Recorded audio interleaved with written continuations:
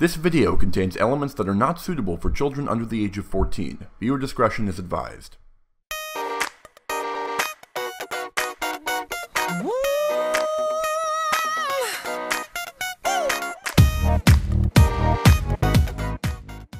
Hey guys, Sean Fay Wolfe of Diamond Axe Studios here, and I'll just be blunt with you guys, I really didn't want to make this video.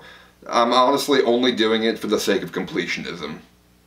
And views. Mostly views.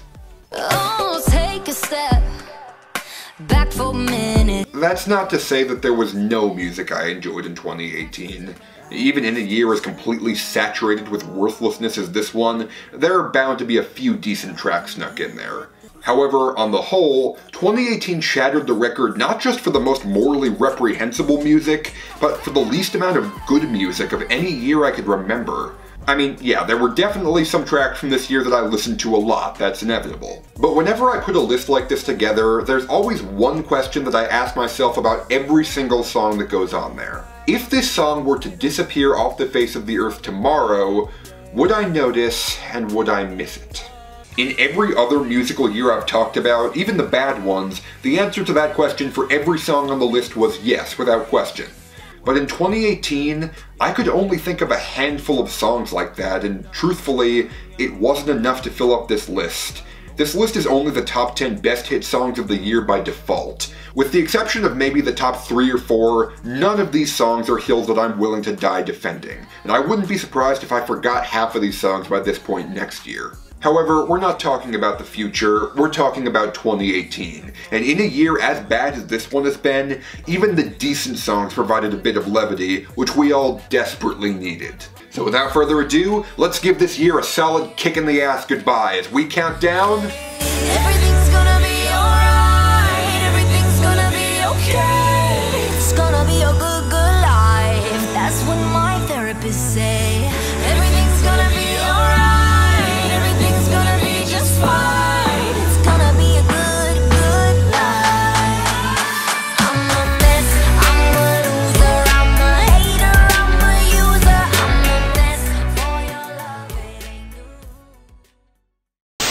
Nothing personal, kid.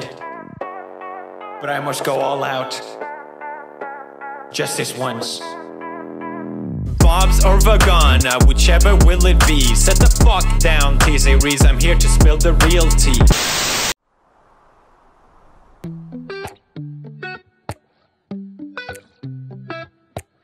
You call me all friendly. Huh? What's that? Are you seriously saying that this song is nothing special, and that the only reason I'm putting it on here is because I've made it clear that I think Dua Lipa is a flawless queen and I'd give anything in the world for her to be my wife? I mean, come on, guys. That's ridiculous. You say I'm sorry, but it's too late now. So save it, get gone, shut up. Okay, okay. Joking aside, I actually really don't think that this song is honestly all that special in the grand scheme of things. I'll be transparent with you, picking the number 10 song on this list was extremely difficult, and I changed it a million times. Not because there were too many songs to pick from, but because I was legitimately having difficulty finding 10 songs from this year that I find are really best list material. I imagine that that might surprise you guys, especially since this song in particular was one of the songs that I said I wanted to become a hit back in the fall, so you'd expect that I'd be thrilled that it barely managed to squeak its way onto the year-end list. However, even back then, I was really just rooting for this song because A, Her Highness deserves all the worship that we mere mortals may deign to provide her, and B, because it was a nice change of pace from the rest of the music that we were getting, even back in the relatively strong spring season. And to be honest with you guys, that latter reason is also the main reason that this song is showing up on this list. What little actual pop music we got in 2018 was either weak sauce crap like Back to You or shapeless vibe music like Never Be the Same. It was easy to see how most of this music got overshadowed by trap rap, and if you know my thoughts on popular trap rap, you know just how poorly that reflects on the genre of pop music. So yeah, in a stronger year, IDGAF probably would have just fallen into the background, but if there was ever a year when we needed a blunt, punchy, self-assured pop song like this one, it was 2018. So I cut you off. I don't need your love. Cause I already cried enough. I've been. While Dua Lipa isn't a particularly unique vocalist, truth be told, she's one of the only female pop stars I've ever heard in the past few years who's able to actually sell a breakup song like this. Usually when pop stars put out a song like this about the aftermath of a breakup, it either comes across as a transparent pose to project girl power, or an unconvincing, wishy-washy mess that might as well just be her screaming, I'm not over it for three minutes straight. This is not the case in Idgaf, where Dua Lipa's lower register lends her a sense of solid confidence and self-assurance, which is backed up by an entire chorus of her singing in unison. New Rules was a fascinating insight into Dua Lipa working through the tangled emotions of her breakup, and Idgaf is the payoff of that song, showing that she's fully adopted those new rules. Mark from Spectrum Pulse called this a modern Pink song, and I thoroughly agree. Midnight,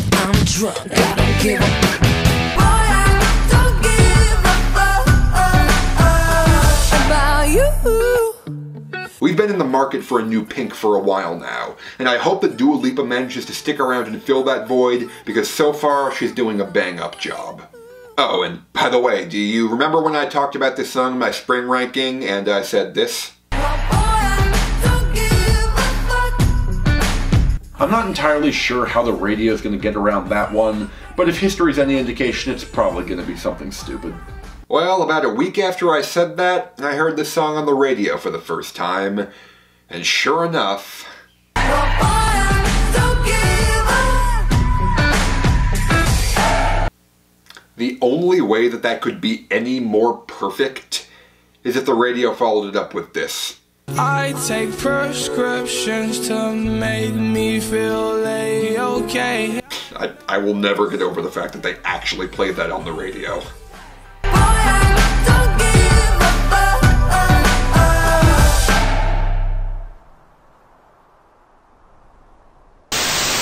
Trying to dethrone me from spot on number one, but you India, you lose. So best think you haven't won. Hey, sugar plum, look at where we are. So tonight, if I take it too far, that's okay because you know. If I had to pick one artist who embodied the public's general attitude towards pop music in 2018, it would probably have to be Justin Timberlake. Think about it. He's a legacy artist who's been around for a long time, people have steadily been growing sick of him over the past half of that period, and at the start of this year he dropped a mediocre album which no one bought which has put his career in serious jeopardy. I challenge you to name more than five pop stars who were huge three years ago whose 2017 or 18 can't be described with that exact same sentence. Yeah, Man of the Woods' weird pseudo-acoustic, but not really except kinda ish aesthetic did nothing but confuse and turn people off. And combined with an underwhelming Super Bowl performance that spat in the face of Prince's memory, Justin Timberlake turned into the biggest pariah of the first few months of 2018. Oh, all while 6 9 was just chilling at number 12, might I add. Still, it wasn't all bad, because out of the flaming rubble of Justin's flailing career rose one track. A track which went back to the basics and showed the world that Justin Timberlake has still got it. You know the one I'm talking about. Hit it.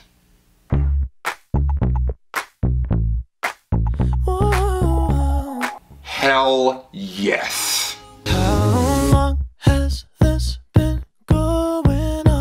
To hell with all that robot trying to be lumberjack BS. This is the Justin Timberlake I know and love. Tight instruments, cooing falsetto, and absolutely effortless swagger. Though I will admit it's kind of funny that Justin's too old to be in these videos now, so they had to get some random 20 year old to fill in for him. In fact, if you squint, it kind of looks like that scrawny little twerp who made that Marvin Gaye so- Oh my god! Holy crap, am I hearing this right? Is this actually a Charlie Puth song where he doesn't sound like a Tickle Me Elmo that fell in a lake? This is incredible. Uh, When the hell did that happen?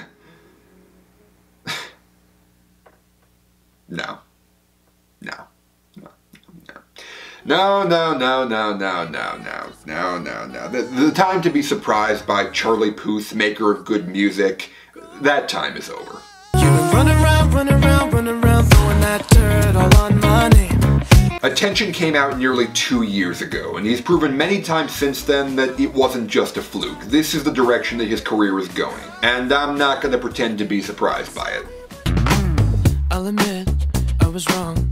What else can I say, girl? This was one of the only radio hits this year that I could actually get on board with, which is good because they played this pretty much non-stop where I'm from.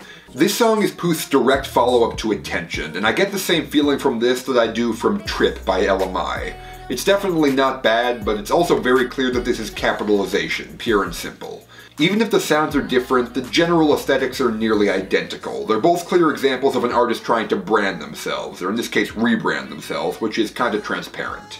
And frankly, I don't think the novelty of being first is the only reason that I prefer attention to how long. I was drunk, I was gone. That don't make it right, but I promise there were no feelings involved. Whereas Attention was a cold-hearted, direct slapdown of an ex who seemed to deserve it, How Long sees Puth playing defense as he tries to excuse himself from cheating by promising that he was drunk, he didn't realize what he was doing, and his heart wasn't in it. It's not a song that makes him look good, so there is a bit of tonal dissonance when he chooses to sing that over a funky guitar line and slap bass. However, as a counterpoint to that, this is a song from 2018 with a funky guitar line and slap bass. As the saying goes, beggars can't be choosers, and 2018 was a year that forced me to beg. There was no way in my right mind that I was going to turn down a song this tight, locomotive, and fun when my alternatives were Drake and no energy homogenous clones of such. Even just to hear a bass line that sounds like it's being played on an actual guitar and not just a fat guy sitting down on a synthesizer key inspires pure feelings of musical bliss in me.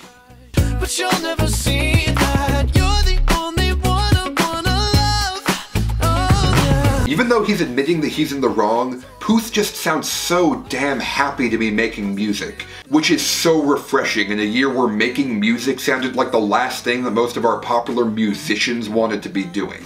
This song may be an incoherent retread of Puth's better work, but in a year like 2018, I'll take the contents of Charlie Puth's cutting room floor any day.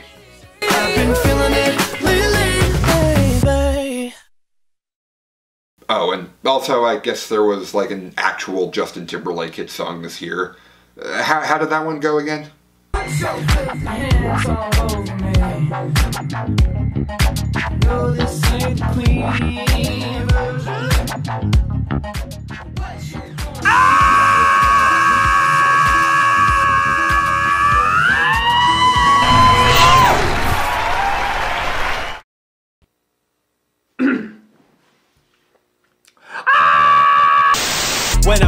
you, we're gonna be completely fucking done. Cause we only just begun. I review you, zero vibe is gone.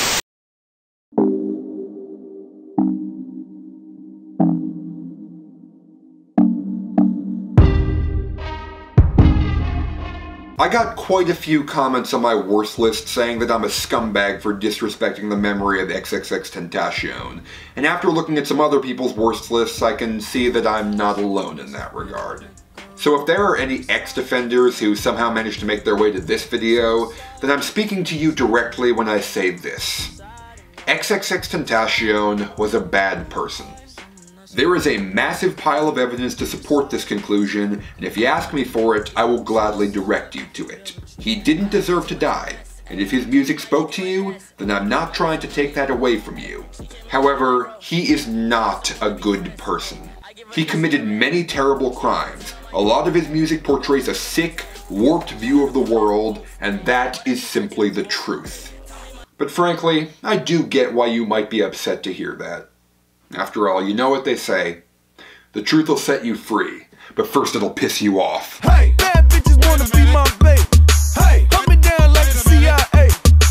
Ah, glad to have that off my chest. Let's talk about the fun music now. mad ethnic right now. I get it how I live it. I live it how I get it. Come to motherfucking digits. I pull it with a lemon. You see, Rihanna? This is what I'm talking about. Bitch better have my money. I know I was pretty harsh on you in my 2015 list and I mocked your pathetic attempts to sound tough, but with this song, I can see that you finally found what your true calling is. Namely, literally everything besides trying to sound tough. Nigga, the very wrong glide.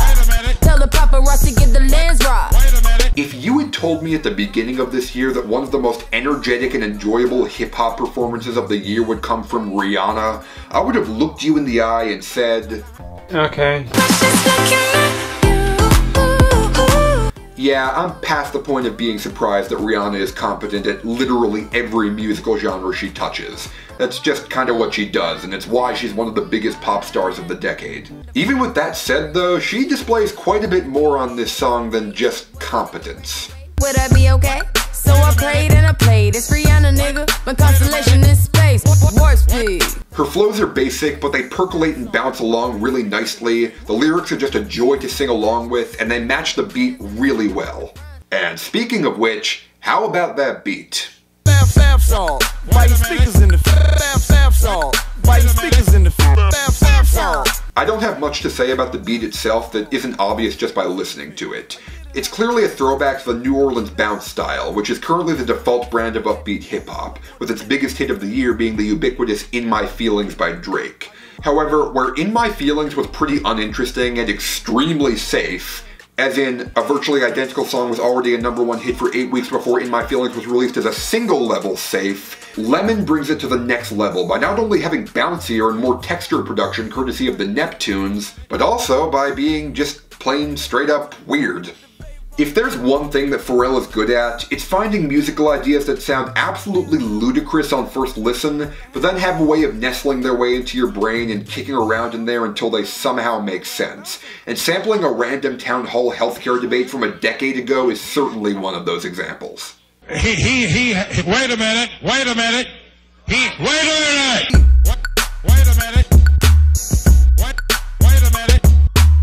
While Rihanna may be the meat of this song, that sample is the garnish, adding just the right flair of eccentricity to ensure that this song will always stick in your memory. In fact, it worked so well that Pharrell actually sampled a different part of that same clip for another song he produced this year.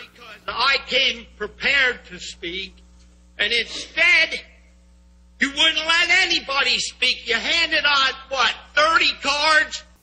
He shouldn't have did that. You wouldn't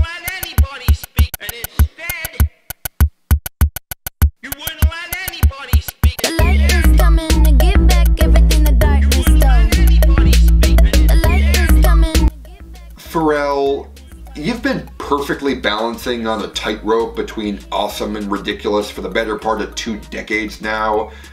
You probably shouldn't tempt the wind. What? Wait a minute. So come on, T-Series, looking hungry for some drama. Here, let me serve you bitch lasagna. One principle that I stand by when making these lists is trying to make them as honestly as possible, and to put on the songs that I legitimately care about the most, regardless of how personally humiliating they may be. I think I've been pretty good about this so far, with my best hit songs of 1992 list probably being the most notable example, but I have wavered from this principle a few times, I'll admit that. If I were to redo my 2017 best list, I'd probably take off I Feel It Coming and Stay and put Location and XO Tour Life on there, both of which are songs that I wasn't ready to admit back then that I absolutely love. And you can bet your ass that in a year as bad as 2018, I'm going to put any song that brought joy to me on the list, regardless of how humiliating it might be. And so, ladies and gentlemen, with the songs that I probably listened to the most over the course of this year, I present to you If I hit it one time, I'm a piper. If I hit it two times, then I like her. If I fuck three times, I'm a wifer. It ain't safe for the black or the white girls. To be completely honest, I know that I'm probably not gonna actually get that much blowback for putting this song on here. I expected this to be a contentious pick while I was planning this list, but then I saw it appear on several other people's best lists, usually as an honorable mention. I honestly didn't expect that, and it feels good to know that my appreciation for this song is shared by at least some people. But if there is one thing that high school has taught me, it's that it doesn't matter what other people think of you. All that really matters is how much you hate yourself. And now I don't like talking to strangers. There are many embarrassing artists who I'm willing to go to bat for, but G-Eazy is not one of them. I mean, he's a tall, gangly white guy with Ben Shapiro hair who's got wordplay that's well below par and one of the least aesthetically pleasing flows of the modern rap game. He's one of the most useless acts in music, which makes it utterly infuriating that I found myself kind of enjoying both of his hit songs this year. Thankfully, I am not in the position of defending his duet with Halsey, which has shrunk on me a fair bit over this year, though I still probably like it more than most. Much more problematic than that is G-Eazy's other big hit song of 2018, No Limit.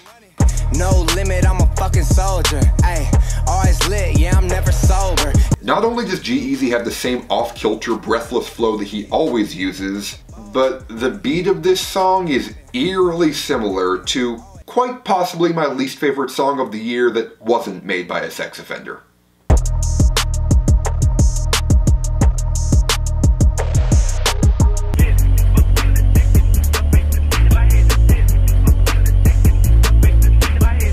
However, despite their similarities, I think the reason that one of them works so much better than the other one can all be boiled down to context. First of all, No Limit actually has a hook, courtesy of ASAP Rocky. He's not a guy who I know that much about, but I've never heard him on anything bad per se, and his hook is surprisingly catchy for how simple it is. It ain't safe, it ain't safe, it ain't safe, it ain't safe. Tell your man pipe up, nigga pipe up. When the hook wraps up, it ends on a light drop, which preps G-Eazy to come in and pick up. Now, G-Eazy's gimmick, as far as I can tell, is that his flow puts emphasis on the offbeat, and usually when he does this, it gives the impression that he's struggling to keep up with the song. Remember this for when I die. Everybody dressed in all black suits in a tie. My funeral be lit if I. However, on No Limit, not only is the beat more eerie and ambient, but the percussion is punchier and more pronounced. This combination of elements, as bizarre as it might seem, is actually the perfect fit for G-Eazy's flow. The percussion is fast and pronounced enough that it gives G-Eazy a basic structure to work around, while the relatively unstructured bass and instrumental don't clash with his more organic flow. Shopping, that mean copping, always popping, hella popping. She's a bopper, homie, hopping. It's really difficult to explain, but somehow this beat manages to hit a perfect sweet spot that turns all of G-Eazy's weaknesses into strengths. Granted, his lyrics aren't anything special, nor are Rocky's, they're just a bunch of flexing. But the key to flexing is that you need to sound cool while you're doing it. Somehow, this song manages to capture lightning in a bottle and actually make G-Eazy sound kind of awesome. But I don't know why I ever pretended like this was about the boys. Yeah. Fuck him, then I get some money. Tongue, I need face, I need brain, concentrate. I'm the phone, product case, in the weed, fuck the lace. Fuck the move, buy the ace, fuck the goals, drive a money, fuck the rollie, fuck the rollie, patty face. My relationship with Cardi B is more complicated than Offset's, though somehow it actually manages to be less personally humiliating than his. I don't dance now, I make money move.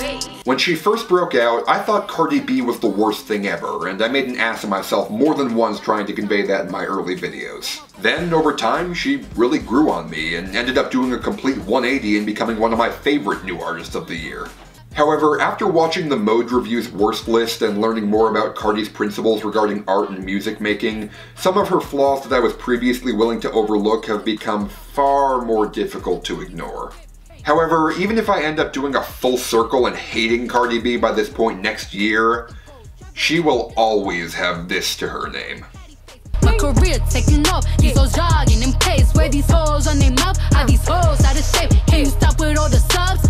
Bitch, I ain't Jerry. I'm not going to go on about this for long. Everyone knows that Cardi absolutely steals the show on this song. From her lyrics to the switch ups in her inflections to her overall presence on this track, Cardi's verse on this song is like her entire appeal condensed down to 16 glorious bars. It's the one thing about this song that everyone seems to agree on, and I am wholeheartedly in the same camp. Thank you, guys. There's a fairly reasonable chance I will never like anything a single one of you does again, but it was a nice fling while it lasted. Hey, yeah, fuck with G and get some money. Bitch, lasagna, bitch, lasagna. T-Series ain't nothing but a bitch, lasagna. If I had to point to the number one thing that I learned about music in 2018, it would be that this world Loki needs more Pharrell in it.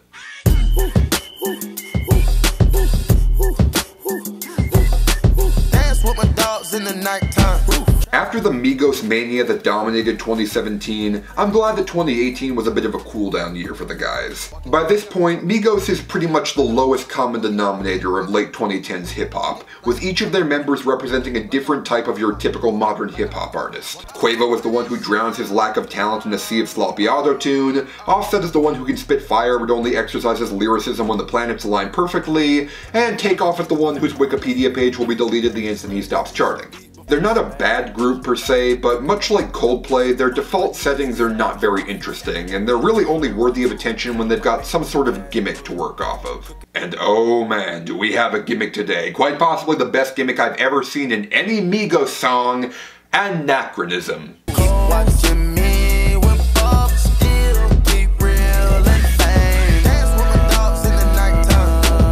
Yes, the beat from Stir Fry, also known as the primary reason why this song is so high on this list, is also the reason it stands out so sharply from everything that Migos and indeed Pharrell have put out in the past 10 years. Because it was actually, literally made 10 years ago.